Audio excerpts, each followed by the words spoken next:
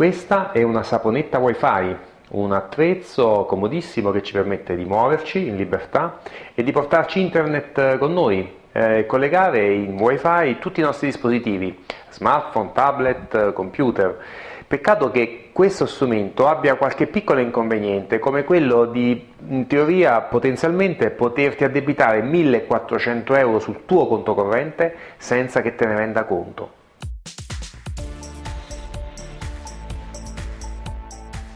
Eppure è esattamente quello che è successo a una nostra cliente di Basta Bollette che ci ha contattato per eh, chiedere assistenza per un problema simile. Eh, le sono stati addebitati dei servizi non richiesti sulla sua saponetta wifi per un ammontare complessivo nel corso di un anno di 1400 euro. Questi addebiti sono stati dovuti a delle attivazioni di questi servizi, che sono servizi di abbonamenti come oroscopi, immagini sexy, suonerie, giochi, che non sempre gli utenti scelgono di avere. La signora lamenta appunto che queste attivazioni sono avvenute a sua totale insaputa e quindi si è vista ingiustamente addebitare tutti questi soldi. Questi abbonamenti non richiesti hanno da sempre imperversato sui nostri smartphone. È frequentissimo il problema dell'attivazione eh, non richiesta dall'utente di simili servizi a pagamento, che in genere si pagano 5 euro a settimana e sono una bella scocciatura. Quando viene attivato il servizio, l'utente riceve un sms che eh, lo informa dell'avvenuta attivazione del servizio e della sua possibilità di disdirlo eh, chiamando un numero verde oppure collegandosi sulla sua app e andando nella sezione servizi eh, in abbonamento o servizi a valore aggiunto e eh, chiedendo espressamente la disdetta e l'annullamento di questi servizi.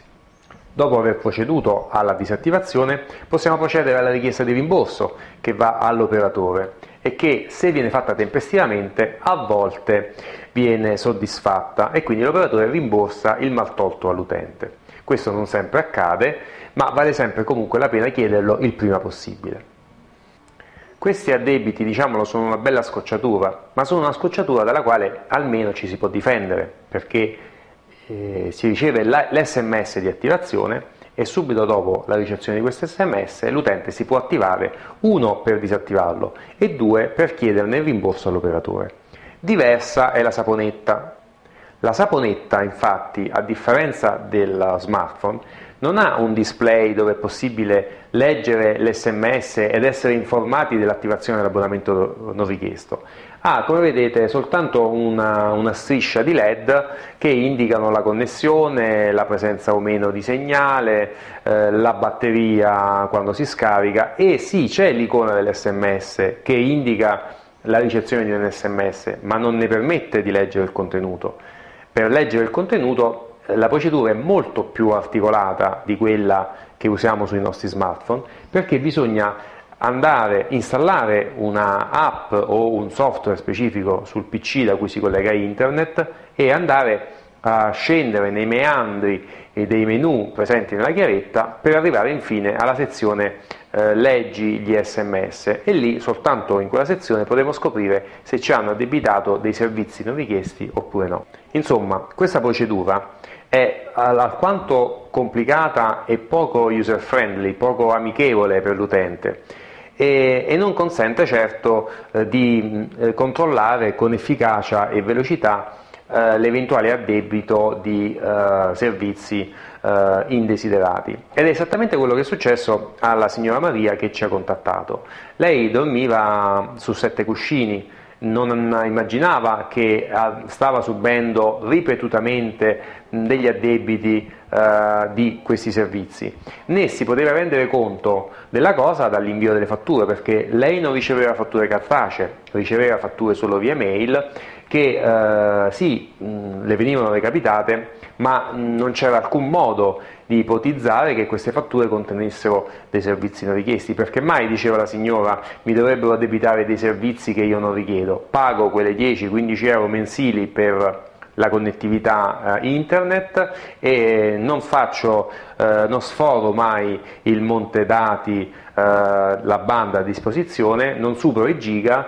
non acquisto servizi e quindi le fatture non c'è neanche bisogno che le controllo. E qui è stato l'errore della signora. Eh sì, perché questi addebiti lamentati della signora venivano prelevati direttamente dal conto corrente familiare, che anche quello non è proprio sempre di eh, immediata eh, percezione di anomalie, nel senso che se è un conto corrente familiare o peggio aziendale molto movimentato, con tante entrate e uscite, con tanti piccoli acquisti, bancomat,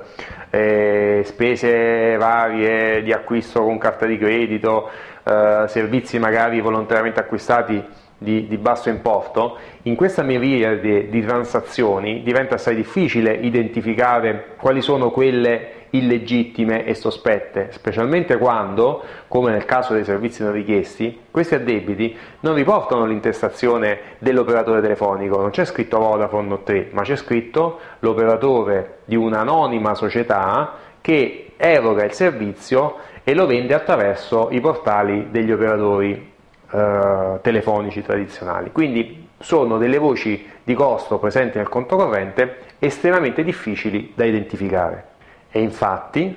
la signora sì se ne rende conto di questi addebiti, ma se ne rende conto quando è ormai troppo tardi, quando è passato più di un anno e mezzo dalla prima attivazione e nel corso degli anni questi servizi, accumulandosi settimana dopo settimana, ne erano due, arrivano allo eh, stratosferico ammontare di 1400 euro. La signora manda subito, appena si rende conto, una raccomandata a Vodafone in cui chiede 1. la disattivazione immediata di questi servizi, 2. la disdetta del contratto, il recesso, perché evidentemente è venuta meno la fiducia che c'era prima tra la signora e l'operatore di telefonia, e 3. chiede il rimborso della, di tutte le somme mai addebitate ingiustamente sul conto corrente della signora. Sapete qual è la straordinaria risposta di Vodafone? Fa un'offerta, un'offerta transattiva eh, nella quale propone alla signora il rimborso delle somme, ma non tutte le somme, e neanche la metà, neanche un terzo, molto molto meno. Propone 80 euro di rimborso a fronte delle 1400 euro ingiustamente prelevate. Potete immaginare la reazione della signora che rifiuta la proposta e si rivolge a noi di Basta Bollette mandando una richiesta sul nostro sito tramite il modulo basabollette.it in cui ci chiede assistenza nel recuperare queste somme e noi le illustriamo il menu che eh, siamo pronti a preparare da portare a Vodafone per consentire di gustare eh, le nostre azioni legali volte al recupero eh, di questa somma. In primis eh, la, con la signora faremo un ricorso al Corecom che è un'operazione obbligatoria, necessaria, eh, perché è l'esperimento del tentativo obbligatorio di conciliazione che la legge prevede nel caso di mh, problemi e controversie di telefonia. Dopo l'esperimento del tentativo di conciliazione, dopo che questo avrà esito probabilmente negativo, eh, ma potrebbe anche trovare in questa sede un, accordo Vodafone, andremo alla fase successiva che può essere o la definizione sempre presso lo stesso Corecom in cui il Corecom da ente di conciliazione diventa ente di decisione perché mh, diciamo arrogandosi la funzione che è tipicamente quella del giudice decide sulla controversia e mh, si pronuncia a favore o contro la signora per il recupero della somma. In alternativa, dopo aver esperito il tentativo di conciliazione, si può andare direttamente dal giudice ed è la strada che perseguiremo noi, perché nella nostra esperienza il giudice ha dei poteri e ha un atteggiamento pro-utente eh, che eh, aiuta eh, nei casi di eh, tutela al consumatore, eh, come il caso della signora. La nostra associazione infatti ha ottenuto numerose sentenze positive che hanno visto eh, gli operatori condannati al risarcimento di, di somme anche ingenti, eh, come ad esempio una recente sentenza del Tribunale di Milano che ci ha visto vittoriosi contro, proprio contro Vodafone e che ha, ha visto la condanna dell'operatore al eh, rimborso dell'intera somma di addebiti eh, non richiesti eh, che ammontava in quel caso a circa 1900 euro. E in più anche una, un riconoscimento di 500 euro di eh, risarcimento danni per il disagio evidentemente eh, subito dall'utente, oltre alla, al pagamento delle nostre spese legali. Ma non è detto e non è neanche augurabile che dobbiamo ricorrere al giudice per ottenere il eh, rimborso eh, delle somme ingiustamente addebitate. Possiamo anche eh, evitare a monte di subire queste attivazioni illecite semplicemente adottando condotte